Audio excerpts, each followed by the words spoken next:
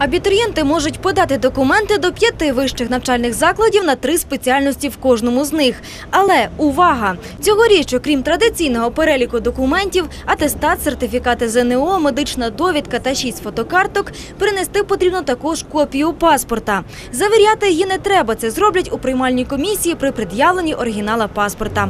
Прохідний бал у вишах 124 бали. Для профільного предмета 140. Вступати у виш можна на основі сертифікатів за різні роки.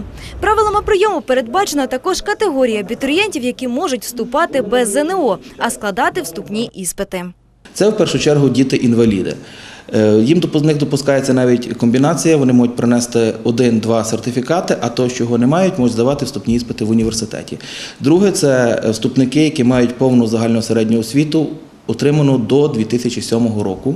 Третє це особи, які звільнені з е, Збройних сил України в рік вступу. Також українці, які здобули середню освіту за кордоном, і контрактники е, Збройних сил е, при вступі на заочну форму навчання.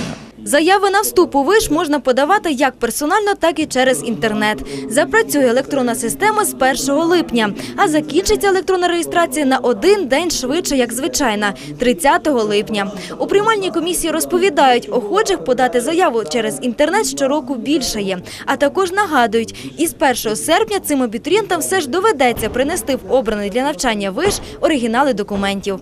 Скористатися електронною системою не зможуть абітурієнти, які мають пільги при вступі. Їм документи потрібно принести особисто. При електронній реєстрації абітурієнтів закликають бути дуже уважними. Тим, хто подає електро... заяви в електронному вигляді, раджу добре думати, тому що ви маєте 15 справ, фактично весь перелік університетів перед вами.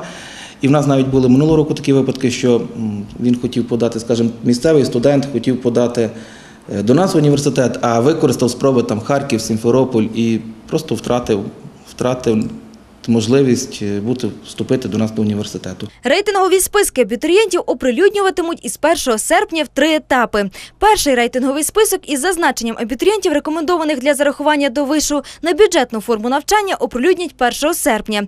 Після цього дають 4 дні, щоб подати оригінали документів. Другий рейтинговий список з усіх спеціальностей в усіх вишах України з'явиться 5 серпня. Третій оприлюднять рейтинги 8 серпня.